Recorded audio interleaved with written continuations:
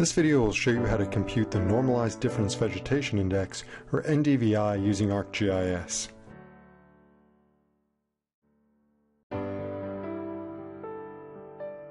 NDVI can be computed from multispectral remotely sensed data using the formula of the near-infrared band minus the red band divided by the near-infrared band plus the red band.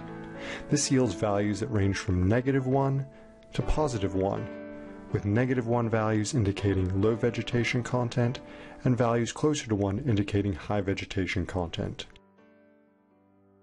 For the demonstration, we're going to be working with a Landsat 8 scene of western Vermont.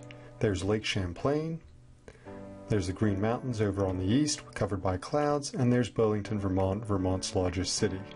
I created this image by stacking together bands 1 through 7 from Landsat 8. Now let's create a color infrared composite by going to the layer symbology and displaying the near infrared band to the red color gun, the red band to the green color gun, and the green band to the blue color gun, creating a 543 composite. There are a number of ways to compute NDVI in ArcGIS, but the quickest and easiest is to go to the Windows menu and activate the image analysis tools. First thing to do in the image analysis tools is to click on the button to open the image analysis options. Once in the image analysis options window, click on the tab for NDVI. We're going to uncheck the use wavelength button because we don't have wavelength metadata, and we're going to check the box for scientific output because we want our values to range from negative 1 to 1. We're then going to adjust the band combinations. Band 5 in this particular Landsat image corresponds to the near infrared band, and band 4 corresponds to the red band. So we'll set band 5 and 4 as the infrared band and red band respectively, and then click OK to activate those settings. Now we're ready to compute NDVI. First, confirm that the image layer we want to use is selected, and then we'll scroll down and under Processing and click on the NDVI icon, which looks like a leaf. Using the image analysis functions, we can compute NDVI in a matter of seconds, but it's important to note that the NDVI layer that we've created is only temporary. To improve the display of the NDVI layer, we're going to go into our layer properties and under the symbology tab, adjust the color ramp. We'll use a red to green color ramp, where green represents high vegetation content and red low vegetation content. Let's examine our output. Lakes in urbanized areas that have very low amounts of vegetation have corresponding low NDVI values. Clouds also have low NDVI values.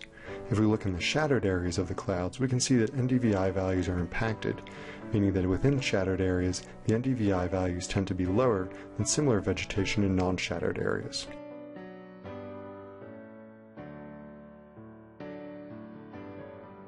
Zooming into downtown Burlington gives us a chance to look at NDVI values in an urbanized area. We see that the city center, which has very few large patches of vegetation, has low NDVI values, but surrounding areas, even residential areas with large tree canopy, do have higher NDVI values. Now let's move south to a landscape that's dominated more by agricultural land use. Those fields with active healthy crops have high NDVI values.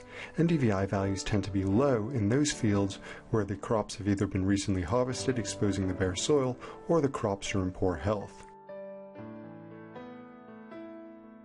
Finally, we'll take a look at some wetland vegetation adjacent to a river. We see a mix of NDVI values. The lower NDVI values in those areas where we have predominantly water, and the higher NDVI values are those areas where the vegetation is obscuring the water. To make the NDVI layer a permanent raster, we'll go back into the image analysis tools and click on the export icon. This launches the export raster data window. The first step is going to be to specify the location for this new raster file. After we've reset the location, we'll go through and give it a file name. In this particular case, I've used the .tif extension to export the raster as a GeoTIFF.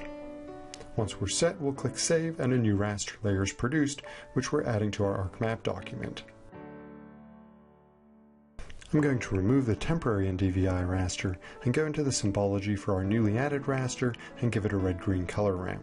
Now we'll take a look at how you can use layer symbology to determine a threshold to differentiate vegetated areas from unvegetated areas.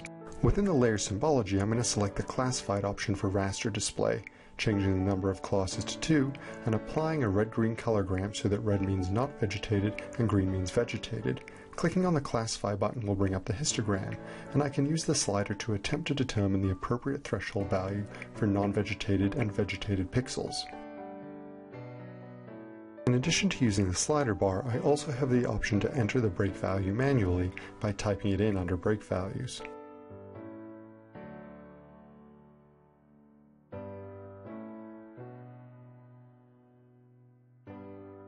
We can now use this threshold value in the raster calculator to create a new raster layer that consists of vegetation and non-vegetation.